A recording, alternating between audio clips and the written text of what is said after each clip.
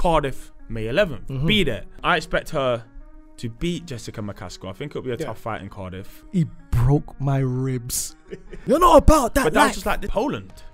And yes. That is Lawrence Okolie going up to fight Lucas Rozanski. Lucas Rozanski. Rozanski. Like Mac Wazowski.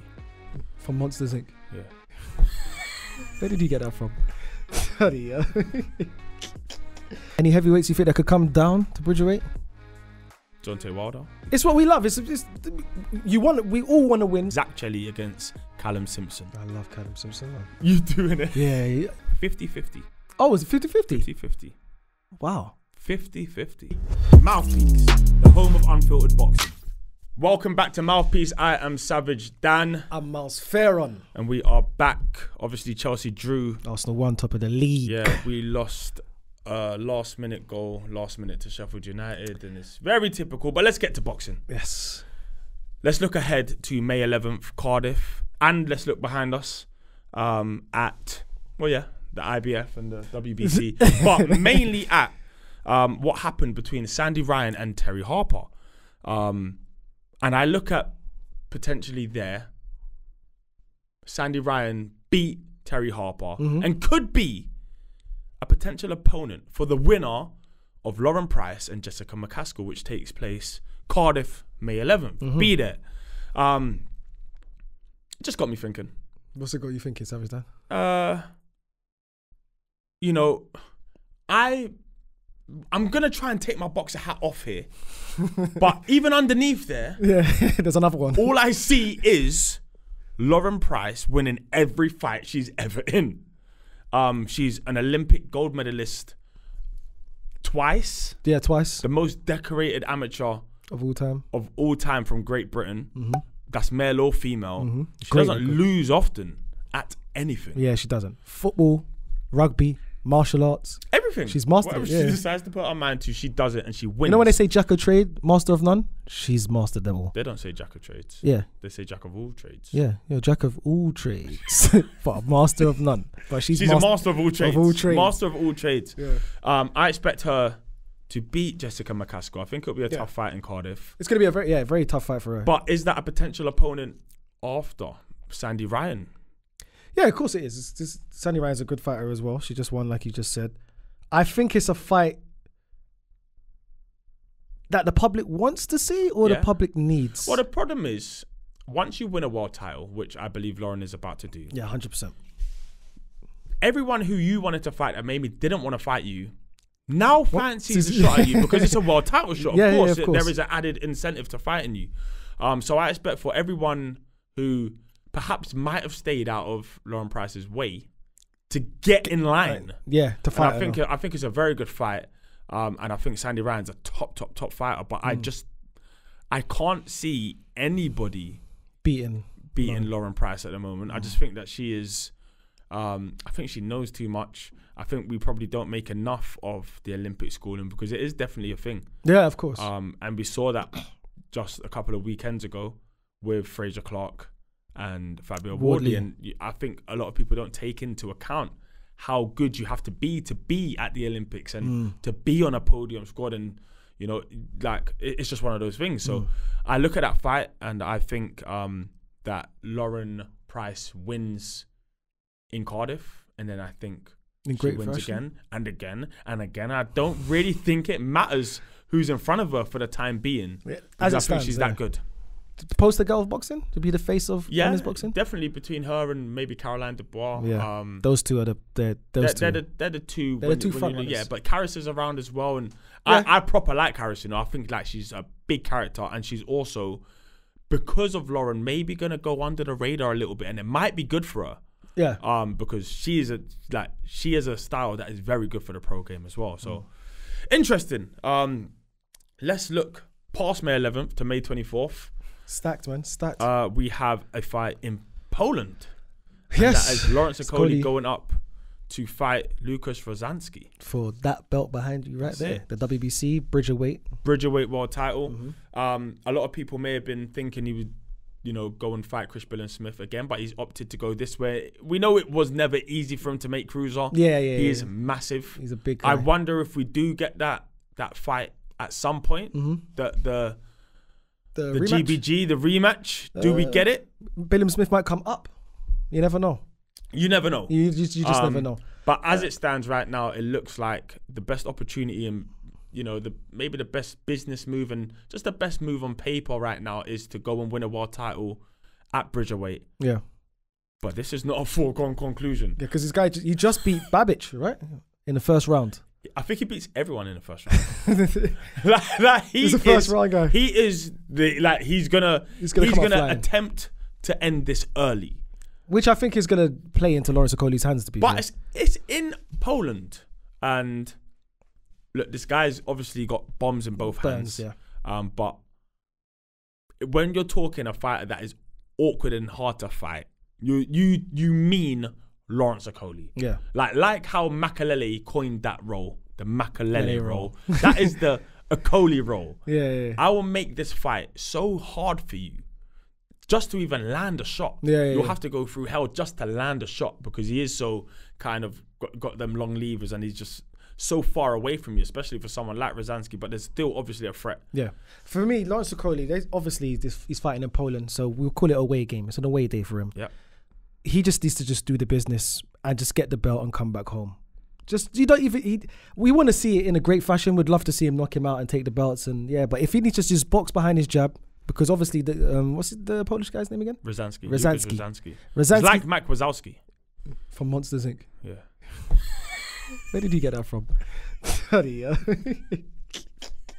Yeah, he's a smaller fighter. Just box behind your jab and just obviously keep him at bay. Like you said, he's have to go through hell through level to just land a shot on Lawrence Yeah. because he's a very awkward fighter as it is. Just do what you have to do. Like, obviously, he's got a new he's got a new trainer now, Joe Gallagher. Joe Gallagher. Good trainer, great trainer. Um, and even if he was not that, and I didn't think he was the best trainer, I would say that because if I didn't, there'd sc- be issues. him, Dan? No, I'm not scared of him. That guy just means business all the time. All the time. all the time. But I think it's a great move for him, you know, just because look, Dubai is a place I visit quite a lot. It doesn't scream it to me it doesn't scream trenches. No, it's not a trench, but you could you could train there though. Of course you can train there, but then afterwards you're gonna go to a beach club and have watermelons. And it just I, I don't know, it doesn't feel like gritty. Like Moss Side, Wythenshawe, like it's grey even in summer. Do you know what I mean? Like, I, like I'm talking, you know, like you come out the mud from, you know, not none of this is like you walk out the gym and like you're in like a, A beach club or you're, you're in a paradise. Like Yeah, you're, yeah, you're in like You see a Lamborghini no, truck yeah, there yeah, yeah, no, no, no, no, no, no, no. None of that. not for this fight. Not for not for a Poland away day. yeah, okay, cool. You need trenches, ten weeks or twelve weeks, whatever it is of trench time. Yeah, yeah. And I think um, I think the move is actually very good for him. I feel like going to Dubai. Um, obviously, I don't know a Cody situation like that, but for me, it seems quite comfortable. Mm. Um, and everything's nice and sweet, and it's the, But the maybe- life of Zack and Cody. Yeah, but good show though. Great Yeah, show, very, very good show. Maybe he needed that though after coming off the loss of the CBS fight, and he just wanted to clear his mind. Like you said, um, Dubai is paradise. Yeah. It's a bit of a, a bit of an escapism. Maybe you need that just to get away from the noise from the British media and etc. Has he still got it? Does he still want to become a world champion? So maybe Dubai was the right place for him to go. Yeah. And like you said, now that he's going back into the trenches, he needs to go to Manchester Yeah. with him. Sure. I, I think I think it's a good, um, a really good kind of uh, co-partnership there, whatever it is that, that he's gonna have with um with Joe Gallagher, because I think Joe is quite an aggressive coach when it comes to like what he wants his fighters to do. Yeah. He wants them to be quite aggressive and exert exert themselves and and kind of like you know impose front themselves on yeah, a fight, be on the foot. front foot, throw big hard shots, blah blah blah. Which is which is different to Shane. Yeah, but Shane's super calculated. So for Yes, me, yeah, yeah, that's the thing. Is that was the three that would be in contention for for, for Trainer coach of the year. trainer of the year Yeah, yeah. is Ben Davison, uh, Joe Gallagher, And and, Shane Shane McGuigan. McGuigan. Like Yeah. that's that's that's the three for me here. Um, there are obviously loads of others, but th- those three, I feel like they are able to train different types of fighters, different types of way, keep your keep your attributes. So I think it's a good move. Do you think we're going to see a completely different type of fighter in Lawrence Okolie, or I do you think he just fine tune? Or just, I think he did very little wrong in his. I look, a lot of people aren't a big fan of his um his Style. style, because it's it's not it's not exactly like fan friendly, but it is so effective. effective. Mm. And you know, he, he's never even looked close to losing a fight before he fought Chris Billam Smith, and that took fifteen thousand fans as well. And obviously, they've done a lot of sparring beforehand. They know, if anything, CBS had a real big head start on every other opponent that Lawrence Okolie has ever faced. Um, and and a judge still uh, had, Had that a draw. draw, yeah, yeah. So I just think Lawrence Okolie's style shouldn't really be changed. I think you've got to get the best out of him. Um, but I think ultimately he knows what he's doing in there. Yeah, yeah, Because he's just a top fighter. Yeah, top fighter. Um, so I expect him to to to go to Poland, collect the belt, and whether it's a pit stop to heavyweight because we know he has aspirations to go to heavyweight, or whether it's to sit around and see who comes up, we want we will see. Any heavyweights you think that could come down to Bridgerweight? Deontay Wilder. I don't know. Hmm. It all depends on. It all depends on how much respect the Bridgerweight division gains over maybe the next twelve months. Yeah, it's a new weight. But I think if someone like Lawrence Okolie gets this belt, this WBC, hopefully, Yeah. which we, we we're rooting for him to get, and he starts calling out fighters, not necessarily say come and fight me, but he's just you know Yeah. make it make that make the well, like I said, make the division a bit more interesting. Maybe you you offer no nothing to anybody um, when you don't have a belt, but as soon as you have, Have a a, belt, yeah. WBC Bridgerweight world title, Someone all the people that maybe would like, mm, nah, well, might just be like, do you know what? might go up there. It's a world title. Yeah, yeah, yeah, yeah, yeah, yeah. So, yeah. yeah. Um, another good fight that is not quite there yet, but we know it's on the horizon. We know it's coming soon. They've been on a collision course. Is Zak Chelli against Callum Simpson? I love Callum Simpson, man. You doing it? Yeah, he- bro, I'm telling you, man. He's he, he's he's gamed the he's gamed the fan, man. I'm a big fan of Zak Chelli as well. I like them both. Um, and I'm, you know, I'm looking at that fight, and when Zak Chelli's in a fight, it's always we we talk awkward fighters. Mm. We're talking Lawrence Okolie. You throw Zak Chelli right in the mix, Mix. there as well. He is as awkward as they come to fight. he is he is a disaster man. is. He is actually the most. He's probably the most disruptive fighter I've ever seen, apart from Lawrence Okolie, in terms of ruining what you want to do. Mm. Like, I'm gonna just ruin it. Think? Do you think that's? Do you think that's an art, or do you think there's something? Yeah. Do you think that's something within you as a boxer, or do you think that's something that you when, learn? when I look at the, the Anthony Simpson fight, I think it was, and Zak Chelli just kind of just. Came with a game plan. I'm not sure if he came with a game plan, but he just he just ripped up the script. You're not gonna do any of that beautiful, pure boxing, Boxing stuff. me, Yeah. uh, and I'm just gonna I'm gonna you know just back down on my gum shield and just do a proper spit and sawdust job on you, and that's it. And that's what it was. And he just said, yeah, none of that. We're not doing that. We're, we're doing this today. But I- and when he's in that mood, he's a nightmare for anyone, even a Callum Simpson.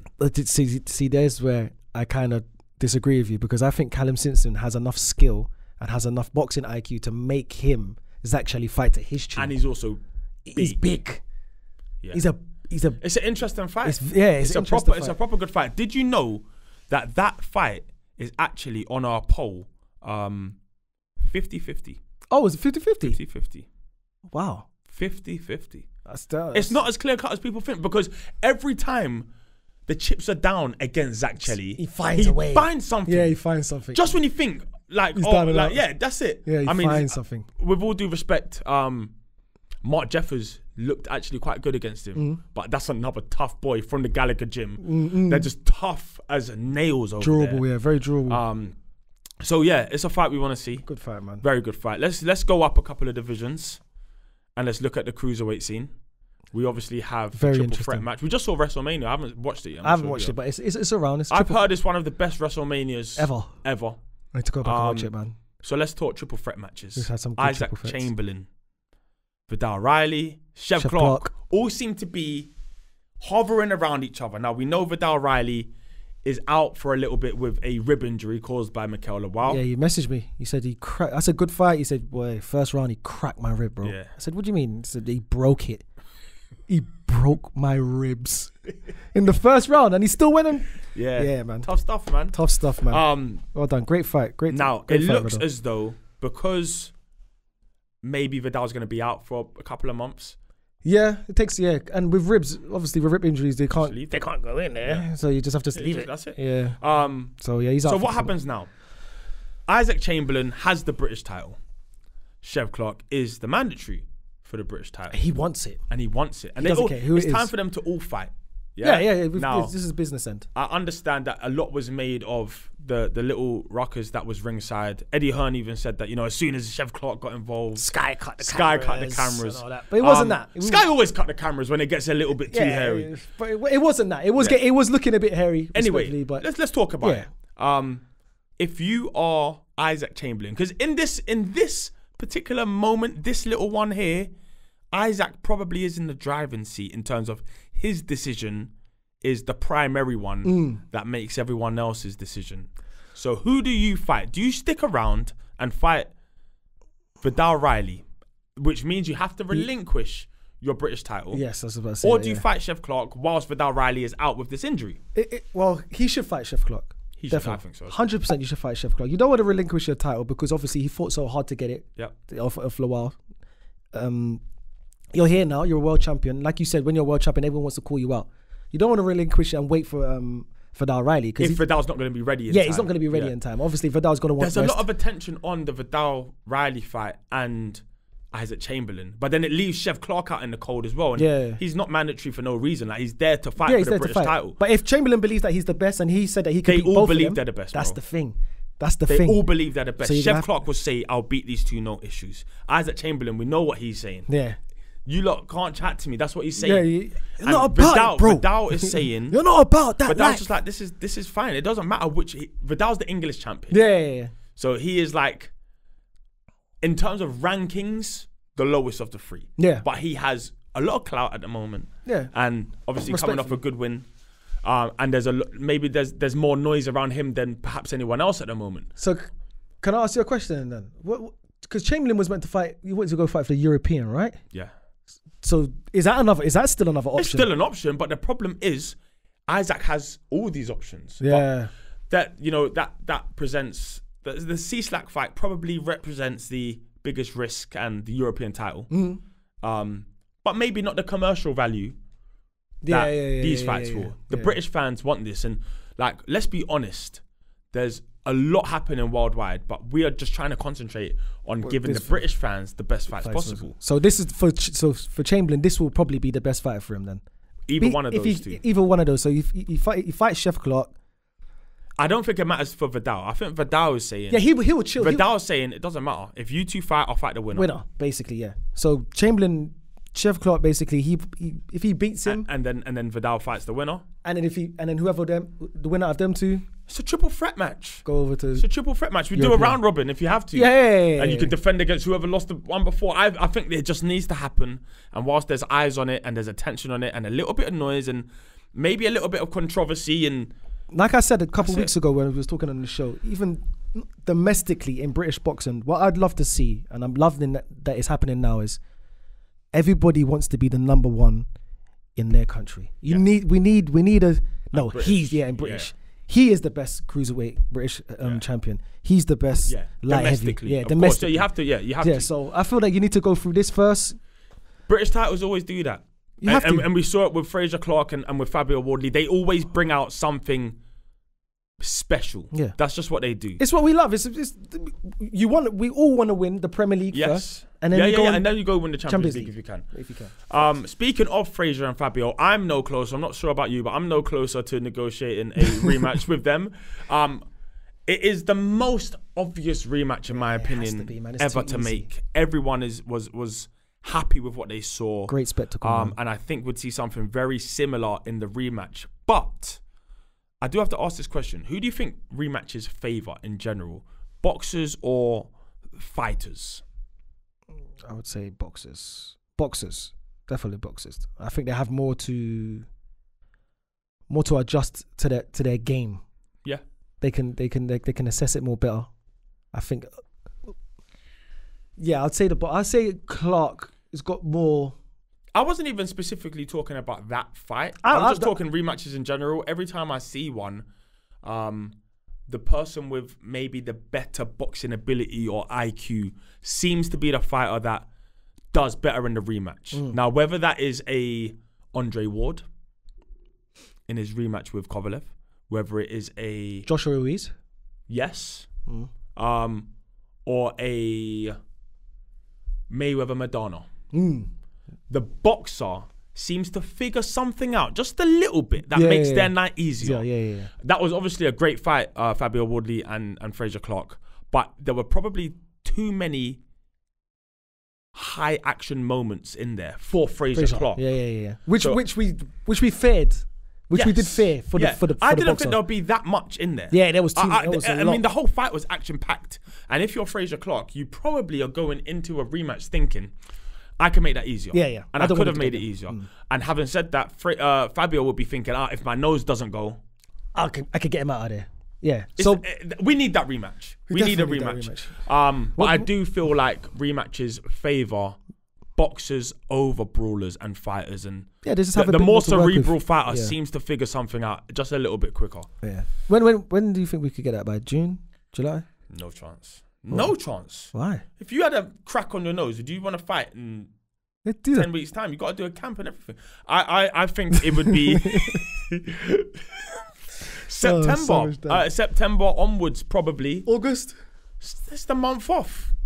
Thought we were all having a month off in, in August. Yeah. That's what that's what boxing usually does. Yeah, carnival, carnival. That's month. it. We, yeah. have, we, we have that. We have like a month bet- somewhere between December and January off, Mm. and usually we get a bit of August off. And Unless then- Saudi have something to say about it. Yeah, well, yeah. And Um, it's September then, so Yeah. we're looking forward to that. If, if it. it does happen again, once it should definitely happen again, man. Right, let's get on to a, a quick debate. Um, obviously, everyone would have seen the the Mike Tyson one, and every a lot of people. You did a serious pivot on that, then. Or, eh, You did a serious listen, pivot. it is just one of those. Was it pressure? It Did you was. really- look, there was a couple of Did you look at messages. Yeah. I've, I've had to go back and look at things. yeah, rightfully so. I want Mike Tyson in there, so I'm gonna do whatever I can to put It's him not in like there. you want him. He's in I there, want him in Dan, there. man. No, I put him in there. After having a, a close look, I put him in there. Mm. But my point is to say this: a lot of people only remember Tyson's prime, and that is why they have him so high in their all-time list of Mm. everything. So let's talk primes. Okay. Who for you? Did a list. You did a list, of course. You did a list. I did a list as well. I would like to hear your top five fighters in their prime ever. All weights, all time, and it's it's, it's your list. I'm gonna try my hardest not to criticize anything that's on that list, but yeah, it's, it's it's it's your list. It's your favorite fighters in their prime. Okay. Shall I go first? Yeah, Go, give me all five, All five. You want Yeah. all five? You don't want one by one? and like a sentence as to why. Okay. Roy Jones Jr. No words. Yeah. What a prime. That is What? what you call a prime. That's what you call a prime. Any guy that's knocking people out with their hands behind their back. Yeah. Yeah, yeah, yeah. It's What like- a that's- prime. that's- he seemed just legendary. unbeatable. Forget it. Yeah, that, he that version of him. The thing about boxing is if you box too far past your prime, people forget your prime. prime. Yeah, yeah, yeah. But if you go back and you see that little speck in time, you're like, whoa, what This is why that? we. This is why we loved him. Yeah. Yeah, this- this is why we loved him. 100% agree. You want to give me your one of yours, or should I just go keep going? Yeah, I'm going to give you one then. Okay, go on. Gennady Golovkin. Triple G. Um, that man was in his prime. I, I look, boxing is one of those sports where we really appreciate the past more so than any other sport. Mm. Football, we accept that we are getting better, uh, whether it's the science, the technique, genetically. everything. Every sport, Yeah. we're getting better, and we're getting the one percents. Boxing is the one sport where I believe we we always say the past is better than the present. That Or era was the compared the best era ever, Yeah, the golden yeah. era. They were tougher, 15 ounce, uh, 15 rounds, smaller gloves, blah blah blah blah blah. That was the best ever. Um, I call Gennady Golovkin A throwback boxer? and any era boxing. Any I, era. I, I think he survives any, Any era, era? of middleweight fighters. That's tough. I think he is. So in his, he, I think his prime was so scary. The way he dispatched of everyone, how heavy his hands was, um, Yeah, his, his, his ability to kind of put pressure on you with his feet. He could punch from anywhere. Mm. Body shots, he would take you out. Headshots, you, you felt like you was getting hit by a truck. Like everyone, you know, like people would hit the floor like, Wow, like, what was this? Yeah, he was. Yeah, he was hitting way too heavy for him. ferocious. anyway. That prime, or all I'm saying is, don't let um him past this prime. When and I'm talking him with Canelo, him with, with uh, Derevyanchenko, I Yeah. forgot his name. Uh, um, don't let it deter from what he was. His prime, his prime. Yeah, yeah. yeah. He when he was wasn't. coming up. You you didn't have to watch the fight. It was a stoppage. Mm. He was that. Catch it on the news. There you go. Another one. Um, uh, this one is a personal one for me.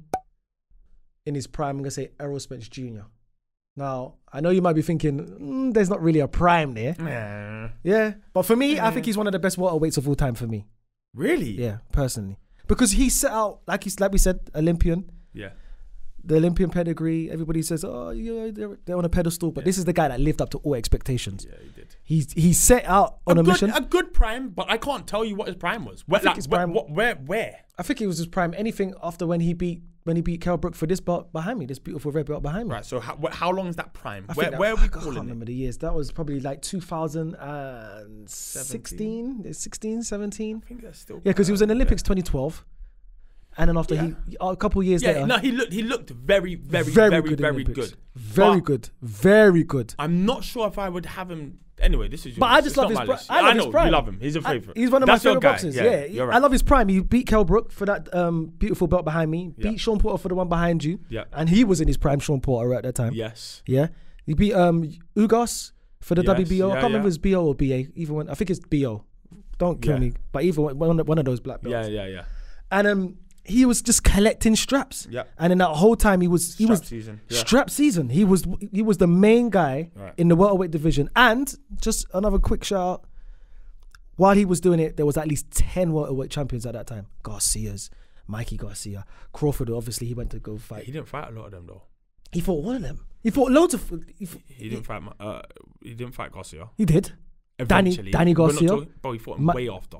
Danny Garcia. You fought him way After the fight. Yeah. Yeah. even After the cr- after the Oh, crash, he yeah, fought yeah, Danny yeah, Garcia. yeah, yeah. And Danny So, Garcia is a. Are we, are we saying he's a pre- champion. Pre-crash is a prime. yeah, pre-crash is a prime. Pre-crash is a it. prime. And- I'll take it. He that's a prime. I'm gonna give me, you a real. personal one. Uh, let me give you a real welterweight uh, prime. Go on. Manny Pacquiao. That guy was scary. Now that and, and for me, I haven't got Mayweather in this because I think he's a cheat code in this in this whole prime thing. He can't, I'm not giving him a prime. Yeah. I feel like you've got him in there. Yeah, yeah, yeah. You do, but I can't accept Mayweather as a prime because what are we talking about? A 17 year prime. We don't even know. He's just the best. Well, prime is prime, though. But I'm talking about Pacquiao between 2006 to 2009, maybe 2007 to 2009, where he was just Ferocious. oh Yeah. man, we're talking Hatton, uh, Cotto, Cotto. Margarito. Uh, he, he he was beating them all. Oh, yeah. And, and, and the, even the ones he didn't stop, it was only because early doors the fighters, and we're talking good fighters, Shane Mosley and that, just, Yeah. just deciding. I just want to make it to the 36th minute. Yeah, yeah. To the top. I just want to make it. I think his his prime was so frightening He was hitting that I, I didn't want him to. I didn't want him to fight Mayweather because I was scared for Mayweather. and Mayweather was my, my favorite. That was fighter. meant to be And I was the just like, time. like he was, he was, yeah, Yeah, he he was, was pe- he yeah, was going through. He was hitting hard at that time, you know. Super hard. He was hitting Too very hard. Some people. Yeah, say. people say, yeah, why is he in this division? Yeah, Yeah, what's going on facts. here? Um, I'm gonna go for your favorite boxer of all time, not Mayweather. I am Mike Tyson. Yeah, he's a man as well. Yeah. now, when we talk primes, there we go. Prime. Of course, he's gonna be maybe top of a all-time prime list. his All-time. prime was, and a lot of people say we missed his prime, but I'm just gonna go off what we did see in that really- prime. Yeah. Nah, a lot of people say, you know, if he didn't go to prison, we would have seen that patch there. We would have seen. in, yeah, devastation. I saw enough to Oh, yeah, yeah, suggest we that when he was in his bag, you couldn't beat. Yeah, him. you couldn't beat Mike Tyson. You couldn't beat Um, I Mike. You could beat I Mike. But though, obviously, this is the thing about these debates is that they can be debated. Yeah. Some people will say, you know, as soon as you made it past a certain point with Mike Tyson Hmm. and you managed to impose a bit of a threat, maybe you could have beaten. Don't- don't but do I'm this- not. I'm not going to don't do that. do this again, I'm not Cyrus going Dan. to do this in the prime. Yeah, combo. yeah, please, In his please. prime, he was unbearable, and I hear it. Yes. Yeah, he was. He was. He was. He was the goat. He's the face of boxing. Um, my last one is Roberto Duran. Okay. Now that's a prime fighter. Um, somebody who just looked devastating. Hands of stone. When your name is Hands of Stone, forget it. I ain't fighting. Nah, What's his nickname? Hands of Stone. brick hands. Nah, I don't want to fight him. Yeah, forget it. Um, I fight just him. think that I just think primes are such a special thing because a lot of times when you're in your prime, you might not realize you're in your prime. Yeah, yeah. Some people do. I feel like Canelo knew when he was in his prime because he started fighting every three weeks. um, like, and that's the thing. Like primes are like, you feel unbeatable. Yeah. You look unbeatable. And you, you just look devastating in those in those times. I just think that just one of those things, man. Just Yeah, I just I would like to do a list though of fighters past their who the best fighters past their prime. Wow. So like uh David Haye? David Haye. No. Nah. No. Not like past well like, as in what did he do past his prime? Yeah. For real. Bernard Hopkins. B hop. Yeah. Oh, okay. Yeah. Yeah. Yeah, oh, I'm like the ones who like hit the top of the hill. You should have, if you if you want to be a romantic, you retire there, but you, But don't. don't. But like, how long can you kind of stay up there? live long enough Yeah. to see yourself become the villain. There you go. basically. There you go. So B Hop is the perfect example. I've got one more, but I couldn't really think of a fifth. So I had some honorable mentions. I had Ricky Hatton, Yeah, uh, Prince Naseem, yeah. And Buster Douglas. What a prime! We're talking a one fight prime there for Buster. He had a prime Yeah, yeah, moment. Yeah, yeah, he had yeah. a moment that is going to be big here forever. moment.